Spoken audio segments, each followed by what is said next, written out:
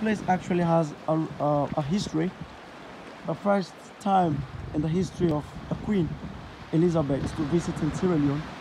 This was a little place she was living at for a period of some time when she was staying here.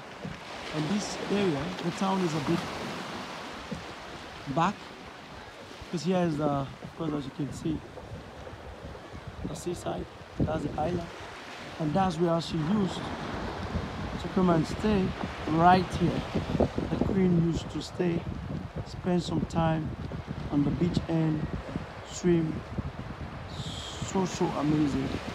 And this is amazing of me being here to doing this record as well after many years.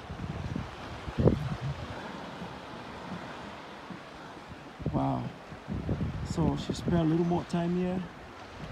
She got a beautiful, beautiful, amazing experience. But the sea, as you can see, is this is beautiful.